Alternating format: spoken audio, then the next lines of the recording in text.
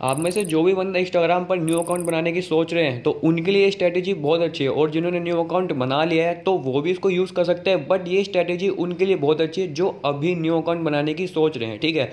तो देखो, आपको ना इस स्ट्रैटेजी से दो फ़ायदे होंगे। सबसे पहला तो आपका न्यू अकाउंट ग्रो होगा, वो तो हो नहीं है, खैर। लेकिन इसके साथ साथ आपकी जो अकाउंट की रील्स है ना भाई, वो भी वायरल होंगी, ठीक है? अब देखो, इस स्ट्रैटेजी में आपको करना क्या है, वो चीज़ ध्यान से सुनना। भाई, कुछ नहीं करना, बड़ा ही सिंपल सा वर्क है है ना? एक मतलब एक सिक्वेंस है आपको चलना है ओके देखो, जैसे ही आप न्यू अकाउंट बनाने जाते हो ना तो आपको एकदम न्यू अकाउंट क्रिएट नहीं करना है। आप न्यू अकाउंट तब क्रिएट करोगे जब आप अपने कंटेंट से रिलेटेड काफ़ी सारे रील्स क्रिएट कर लोगे, ठीक है?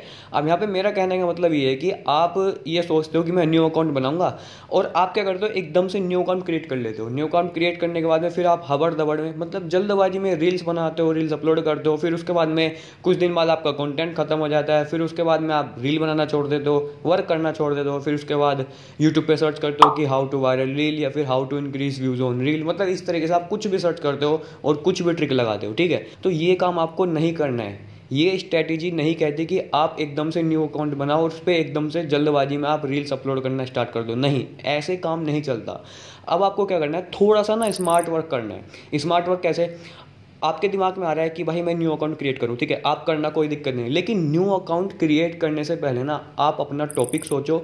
टॉपिक को जब आप अच्छे से सोच लो तो फिर उसके ऊपर ना कुछ रील्स क्रिएट करो। और वो रील्स आप अपने न्यू अकाउंट बनाने से पहले क्रिएट कर लो। और लगभग आप 25 से 30 रील क्रिएट कर लो ताकि आपका एक महीने का कंटेंट मतलब आपके पास हो जाए, एक महीने का मटेरियल आपके पास इकट्ठा हो जाए, ठीक है?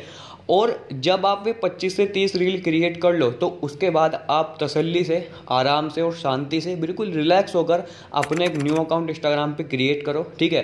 फिर क्रिएट करने के बाद में आप डे बाय डे जो आपने रील्स बना करके रखी हुई थी, उनको आप अपलोड करते रहो, ठीक है? और ऐसा करने से पता है क्या है?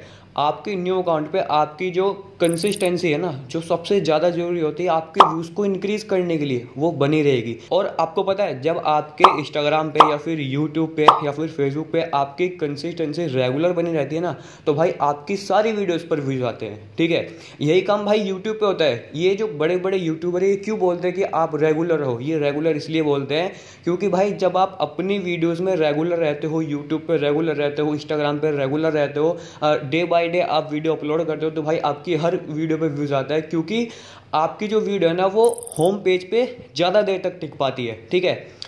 ऐसा ही सेम शॉर्ट्स में होता है सेम रील्स में होता है। आप reels day by day upload करोगे तो आपकी रील्स ना, जो फोर वाला पेज होता है, जो सजेशन में आता है, ठीक है? जो आप स्क्रॉल करते हो ना, जो वहाँ पे रील्स आती हैं तो उसमें आपकी रील ज़्यादा दिखाई देंगी लोगों को। और जब आपकी रील ज़्यादा दिखाई देंगी तो भाई उस पर व्यूज़ ज़्यादा आएगा। और ये सब आपका कंसिस्टेंसी से होता है। और कंसिस्टेंसी आपकी जब बनेगी, जब आप इस स्ट्रेटजी को फॉलो करोगे न्यू अकाउंट बनाने से पहले आप कुछ वीडियोज़ अपनी बना करके रखोगे, ठीक है? और अब मैं इस स्ट्रेटजी का छोटा सा नमूना दिखाता हूँ दोस्तों। यहाँ पे आपको कुछ वीडियोज़ दिखाई दे रही होंगी जो कि लगभग 25 से 26 वीडियोज़ है। और ये सारे की सारी वीडियोज़ मैंने अपने एक न्यू सेकंड यूट्यूब चैनल के लिए क्रिएट कर रखी है, जो कि भाई अभी तक मैंने क्रिएट नहीं किया है, ठीक है?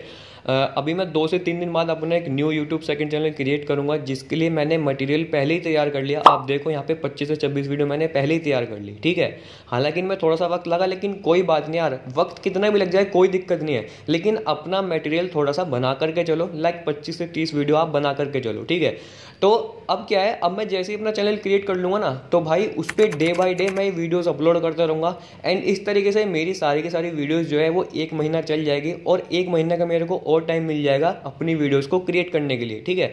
तो जितने वीडियोज़ चलेंगे, उतने में पंद्रह से बीस वीडियो और बना दूँगा और फिर इस तरीके से मेरी day by day day by day उस चैनल पर मेरी वीडियोज़ अपलोड होती रहेंगी और मेरी कंसिस्टेंसी यहाँ पर बनी रहेगी, ठीक है? मेरे पास टाइम भी बहुत होगा और बिल्कुल रिलैक्स माइंड से अपनी वीडियोज़ ही बना पाऊँगा, ठीक है?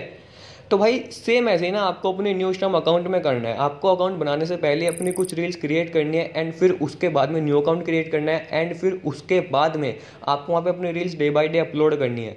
तो इस तरीके से आपकी कंसिस्टेंसी भाई बनी रहेगी। आप रेगुलर रहोगे और जब आप रेगुलर रहोगे ना, बहुत लंबे समय तक आप रेगुलर रहोगे तो आपकी रील्स पर भाई खुद ब खुद व्यूज़ आने लगेगा, आपकी रील्स खुद वायरल होने लगेगी, आपका न्यू अकाउंट ग्रो होने लगेगा। ठीक है?